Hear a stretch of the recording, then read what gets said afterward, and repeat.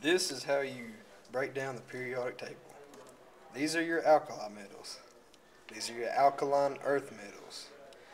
These are your non-metals, and these will be your metals. These are your periods, which show your energy levels. These are your groups.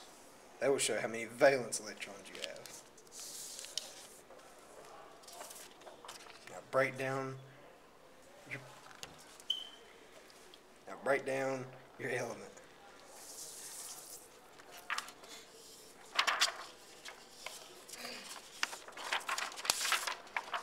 Say you choose hydrogen. Hydrogen has a proton or atomic number of 1 and only has 0 neutrons. Since it's in period 1, it will have 1 energy level